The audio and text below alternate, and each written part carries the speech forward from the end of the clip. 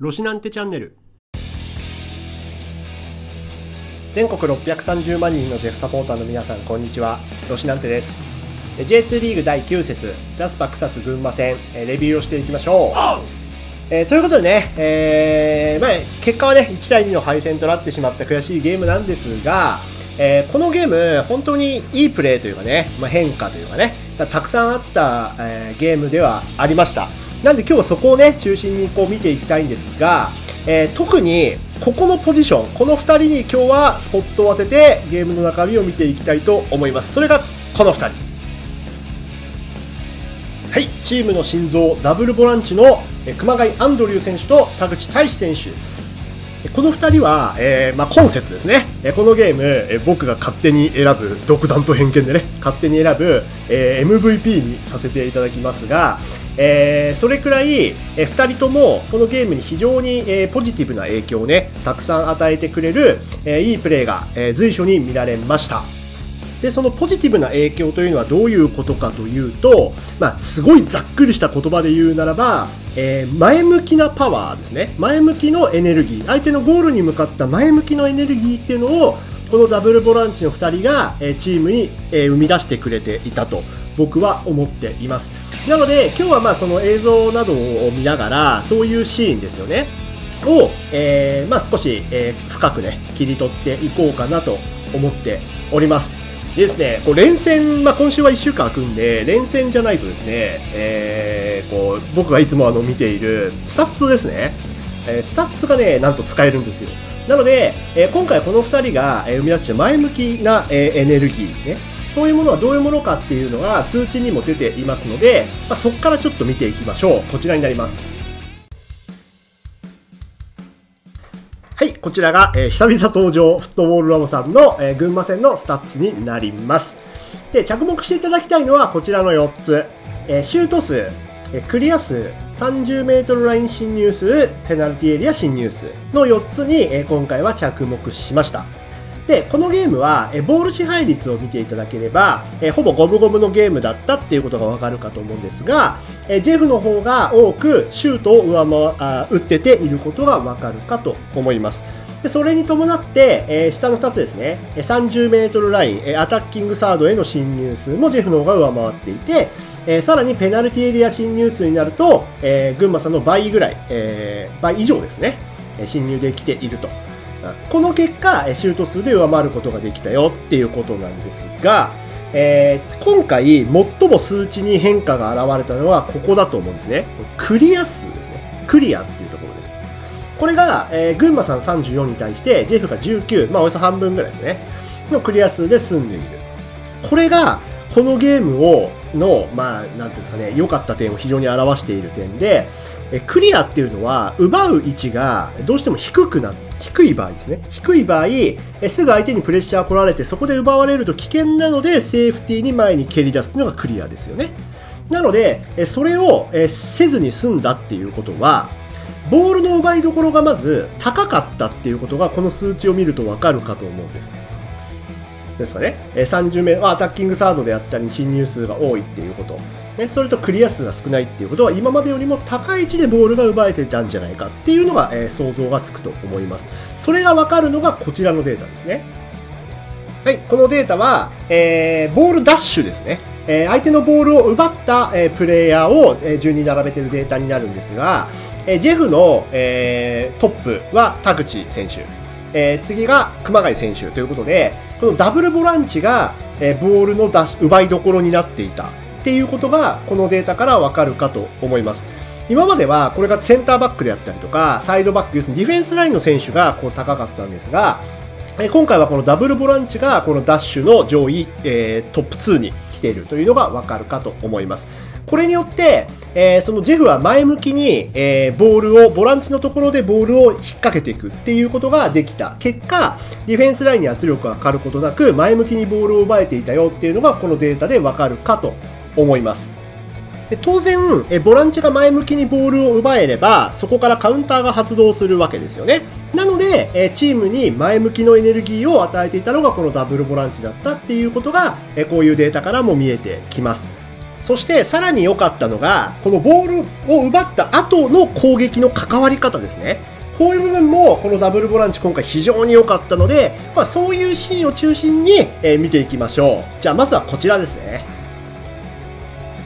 はい。まずはジェフのセット時ですね。えー、セットした状態での守備から入ります。えー、このこのシーンは、えー、相手のセンターバックの選手から、えー、縦パスが入っているのがわかるかと思いますが、この縦パスに対して、え田口選手がプレッシャーに行っているシーンになります。で、これは、え相手をしっかり前に置いて、この縦パスを狙っているっていうことがわかるわけですね。で、この、えー、狙、しっかり狙ってアタックに行けた結果、次のシーンでボールを奪い切ることができています。そしてこ、えー、素晴らしかったのは、この田口選手がボールを奪った瞬間がこの今、この写真なんですが、この瞬間で、えー、田田選手ですね、がもう相手の裏のスペースに走り出しているのがわかるかと思います。この切り替えが非常に早かったですね。結果、えー、このプレーは、えー、田口選手がこの裏のスペースにボールを出して、田田選手がサイドからボールを運んでいきます。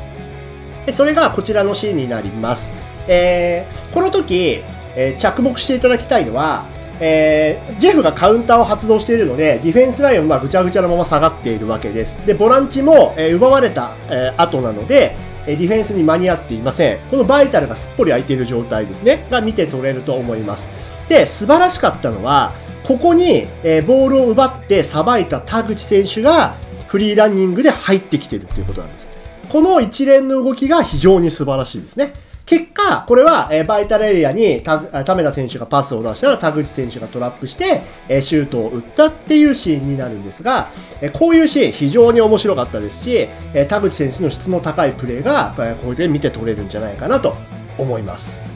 続いてはこちらのシーンになります。はい、こちらのシーンも、え、田口選手の前向きな、え、プレスから、え、カウンターっていうシーンになります。で、この場合、えー、群馬のセンターバックの選手から、えー、ジェフの2トップ脇のスペース、あの問題の2トップ脇のスペースですね。に、えー、宮坂選手かな、これ、降りてボールを引き出しているシーンになるんですが、えー、ここに対して田口選手がアタックに行ってるのがわかるかと思います。今まではこれいけなかったんですね、この2トップ脇に。なので僕はこの守備問題視してたんですが、いつもここいけなかったんで、ここから、えー、パスワークを作られてしまう。結果、ジェフはラインを下げるしかないっていう状態だったんですが、えー、今節はここ狙っていたのか、えー、田口選手が前向きにアタックに行ってるのがわかるかと思います。で、えー、これ行った結果どうなるかっていうのがこちらですね。はい、ボールホルダーに、えー、プレッシャーがかかって、えー、コントロールミスをしてしまって、えー、矢田選手が結果このボールをカットすることができたわけです。で、ここで田口選手の素晴らしいところが、これでプレーを終わらせないんですね。このシーンも先ほどと同じく、えー、この前のスペースに対して、このままの勢いでフリーランニングしていくわけです。それがこちらのシーンですね。はい、ボールを奪った勢いで、えー、そのままに前のスペースに走り込んだ田口選手に、えー、ボールを奪った矢田選手からボールが出ているのがわかるかと思います。で、えー、この、えー、一連の動きね、また田口選手の非常に素晴らしいプレーだと思います。でさらに、ここ良かったのは、えー、ボールを出した矢田選手がここにいて、え、その後ろに米倉選手がいるのがわかるかと思うんですね。これ2人ポジションが被っています。2人ともこのサイドに流れた田口選手のフォローに行くのかと思いきやですね。思いきや、これ、えー、矢田選手はこういうルートで入っていきます。で、米倉選手が縦の、えー、フォローに入っていくんですね。で、この結果がこちらです。はい、田口選手が、少し内側にドリブルで運んだ後、えアウトレーンに入ってきた米倉選手にヒールで、えパスを出したのがこちらのシーンですね。はい。で、えー、田口選手がここにいるので、相手のボランチもそこに貼り付けられていますし、矢田選手が、えー、真ん中に向かって、えー、フリーランニングしたので、今これバイタルが空いてるんですが、あ相手の、え中盤の選手もそこに向かって後ろ向きの守備になっている状態になります。そうなると、米倉選手に、えつくのが相手のサイドバックになってるね。これサイドバックが出ていますよね。そうすると、え中の枚数を1枚減らした状態でクロスが上げられるっていう点ですね。さらに、中盤の選手を、相手の中盤の選手を下げられているので、もし跳ね返された後でも、えセカンドボールの回収がしやすくなるよっていう利点があるかと思います。これも、え非常にいい攻撃でしたし、こういう前向きな、え流れですね。を生み出しているのは、え間違いなく田口選手の守備とフリーランニングにあると思いますので、こちらも紹介していきました。ということで、田口選手のプレーね、あの、見ていったんで、今度は熊谷選手も見ていきましょう。熊谷選手もいいシーンがありました。こちらです。はい、こちらのシーンは、ジェフのゴールキックからですね。ゴールキックが、えー、まあ、相手のボールになってしまったよっていうところからのシーンになるんですが、えー、この場合すぐ切り替えて、えー、プレスにジェフが行ってるのがわかるかと思うんですが、今ボールが、えー、こう中央のこの選手に、え、ボールが出ているんですが、これに対して山下選手かな？が、えー、プレスに行っているのがわかるかと思います。で、ここにプレスに行った結果、えー、相手にプレッシャーがかかって、相手の大前選手に向けて縦パスが通したのが、それを熊谷選手がインターセプトすることができたっていうシーンですね。で素晴らしかったのは、この熊谷選手がインターセプトした瞬間の映像がこちらになるんですが、はい、これ奪ってすぐに、川又選手にくさびのパスを入れているわけです。これが非常に素晴らしかったのが、まあ、一つですね。で、これに、このくさびのパスに対して、えー、サイドの矢田選手がもうすでに裏に走って反応しているのがわかるかと思います。なので、相手の川又選手についている選手が、その先のパスコースを予測して、え、矢田選手の方に体が向いているのもわかるかと思います。で、さらに、これ良かった点、二つ目ですね。熊谷選手の良かった点は、この後、こういうスペースにランニングをしていくわけです。それがこちらのシーンですね。はい。えー、矢田選手のクロスに対して、えー、大外の、えー、スペースで熊谷選手が、えー、ゴール前に入っていけてるのがわかるかと思います。で、ここにボランチの選手が入ってこれるようになると、えー、まずまあ真ん中の、クロスに対して真ん中の枚数が増えますよね。で、それだけじゃなくて、このシーン、え熊谷選手についているマーカーは相手のボランチの選手になるんですね。なので、えー、中盤の選手を、えー、ディフェンスラインまで、えー、下げることができると、えこれ当然カウンターのリスクも減りますよね。はい、なので、えー、パスを出した後にこのスペースに、え入ってこれる。えー、っていうこのプレーっていうのは、えー、熊谷選手のプレーは非常に素晴らしいプレーだったんじゃないかなと思います。続いてはこのシーンです。はい、このシーンは、えー、ジェフのミドルサードで、えー、田口選手が前向きにボールを持って、えー、ルックアップした瞬間の写真になります。で、着目していただきたいのは、え川又選手と山下選手、ツートップが、えー、ボールサイドに流れた結果、えここにスペースが空いているのがわかるかと思うんですが、えそこを、え熊谷選手ですね。ここにいます。この熊谷選手がこのスペースに、え長い距離をフリーランニングして、えついていこうっていうシーンになります。で、え、これ素晴らしかったのは、まあ、ここのスペースを見つけている熊谷選手も素晴らしいですし、さらに、えー、これ、田口選手がルックアップした瞬間に、このスペースに長い距離フリーランニングしていくんですね。この動き出しのタイミングも非常に良かったと思います。この結果がこちらですね。はい、相手の、えー、ハーフスペースですね。の、えー、一番深いところに、えー、熊谷選手が走り込んで、そこに起点が、えー、作られるのがわかるかと思います。で、結果これね、ちょっとボールが長くなってしまって、えー、クロスも十分な体勢で上げられなかったんで、えー、得点には至らなかったんですが、この動き出しの質も非常に高かったですし、こういうプレー今まであんまり見られなかったんですよね。なので、えー、こういうプレーが出てきたのは非常に良かったのかなと思います。これね、押し枠はね、川又選手はね、ちょっとこれスピード緩めちゃってるんですけど、これ熊谷選手信じてね、全力でニヤニヤしてほしいですよね。そうなると面白かったんですけど、まあまあまあまあ。まあ、あの、こういうね、えー、動き出しの質でも、えー、熊谷選手はすごい違いを見せてくれていました。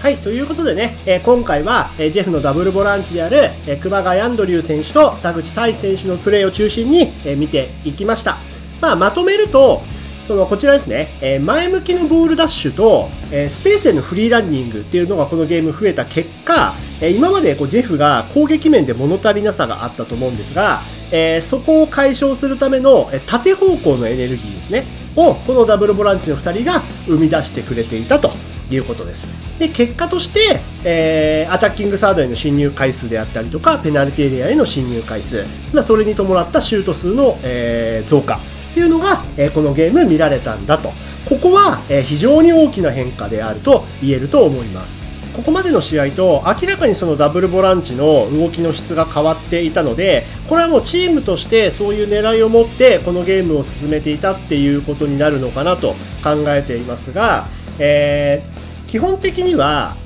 前向きにプレスに行けばえー、自分のポジションを開けてしまうわけですよね。相手にスペースを空けてしまうわけです。スペースへのフリーランニングも同じですよね。自分たちが攻撃の時でも、えー、スペースにボランチが出ていけば、当然真ん中の密度は下がるわけです。要は、この2つの動きっていうのは、リスクを負ってるわけですね。だここがポイントで、リスクを負って犯しても、えー、攻撃に、え加わって出ていく。前向きにボールを奪っていくっていうことです。これは今までのジェフの考え方が真逆になっていて、まあ、後ろで、え、スペースを消しながら守備をするっていうね、ゾーンを敷いて守備をするっていうと基本、基軸としている中で、えー、まあ、新しい方向性を、えー、まあ、打ち出せたのかなと。まあ、そういうのが、えー、このゲーム見られたのかなっていうことは非常に、えー、嬉しかったですし、え、非常に大きな変化なんじゃないかなと考えています。そしてもう一つ、えーおまあ、お話ししたいことがあって、それは、そのプレスに行く、要はリスクを負うところと負わないところの、えー、約束事みたいなものがこのゲーム非常に見られたんですね。ちょっとこちらご覧ください。はい、こちらのシーンは、えー、群馬さんがディフェンスラインでボールを回しているシーンになるんですが、えー、今このシーン、えー、ジェフの選手はプレッシングに行っていませんよね。前向きにボールにアタックに行ってないのがわかるかと思います。で、ここの、えー、明確なルールというかね、えー、まあ、僕が考えるに、えこの選手、えー、宮坂選手なんですが、えー、群馬さんは後ろからビルドアップをするときに、えこの宮坂選手がセンターバックの間に降りて、後ろ3枚でボールを回すときと、宮坂選手が降りないときがあるんですね。この宮坂選手が降りて、えー、センターバックの間でボール回しに参加しているときは、えー、おそらくボールをなかなかなかこの3枚から奪えないので、えー、この時はプレスに行かないと。宮坂選手が降りてない時は、えー、そこを狙ってプレスに行くっていうことが、えー、明確にルールとしてあったんじゃないかなっていうふうに僕は感じています。現に宮坂選手が降りて、あそこでボ、えー、ゲームをコントロールしている時間、まあ、と時間っていうのは、えー、ジェフの選手はプレスに行かず、ゾーンを崩さないっていう選択肢ですね。を取っていますので、えこういう、えルールっていうんですかね、え全体の意思統一がしっかりとできていたのかなっていうのも、えこのゲームの非常に良かったポイントなんじゃないかなと思います。はい、ということでね、えここからは、まあ最後ですね、少しあの、まあ、感情的なというかね、僕の思いの部分の話をしますが、えー、田口選手に関しては、ここまで、えー、非常に安定したプレーをね、ずっとこう続けてきてくれています。出場しなかったのも1試合だけですし、えー、疲労も溜まっている中でもずっとこう安定したプレーを続けてくれてたんでさすがだなってはずっと思っていましたが僕らがやっぱ物足りなかったのはアンドリュー選手だったんですね。うん、なんで、今回、このゲームで、まあ、こういう素晴らしいプレーを見せてくれたっていうことで、僕はもうあえて言いたい。こ復活のアンドリューでしょ。あのー、頼れるね、あのー、アンドリュー選手が、また帰ってきてくれたなっていうのが、僕はすごく嬉しく思っております。でここまでどうしてもね、そのゾーンでの守備っていうところに、え、チームの主眼が置かれているので、まあ、ボランチのポジションっていうのは、どうしてもこう、なんていうんですかね、スペースを埋めたりとか、そのゾーンを崩さないでっていう部分で、え、非常にまあ、うん、いい、うん、誤解を恐れずに言えば、少し窮屈なプレーをね、強いられていた部分はあるのかなと思うんですが、まあ少しずつそのプレスを取り入れて、そのプレスの約束事っていうんですかね、ディテールの部分をちょっとずつこう積み重ねていったことで、このボランチのポジションにある程度のま自由というかね、自由に動けるっていう、まあ、翼みたいなものがこう与えられて、えー、た結果、この2人のプレーが、え今節特に非常に良くて、いろんな場所に顔を出して運動量も上がって、えチームに前向きなエネルギーを与えてくれてっていうね、えそういうものにつながっていったんだと思うので、やっぱりこうディテールですよね。ディテール約束事っていうのが整ってくればくるほど、え選手たちはその上に、え自由度、自由が与えられていって、えより、えまあ、意外性のあるね、プレーだったりが、え見られるようになるっていう点で、え非常にサッカーっていうのは面白いなっていうのを感じております。熊谷選手ね、やっと戻ってきてくれました。でこのプ,、ね、プレーをね、えー、熊谷選手をもう安定して出していってもらえれば、えー、ジェフのね、頼れるキャプテンとして、えー君臨できると思いますので、えーこれからの熊谷選手にもあのすごく期待をして、えー見ていこうと思っています。はい。ということで、えー今回の動画も最後までご視聴いただき、誠にありがとうございました。えー次は、えー日曜日がゲームですかね。えーちょっとその間出せるかわからないですが、えっ、と、新しくね、えいろんなちょっと試みもしていきたいと思っているので、そちらの告知動画を、えー一本また開けさせていただきたいと思っておりますので、ぜひ、あの、そちらの方も、えご視聴いただければと思います。はい。ということで、えまた次回の動画でお会いいたしましょう。ありがとうございました。生まれ変われるなら、アンドリー選手の顔に生まれたい。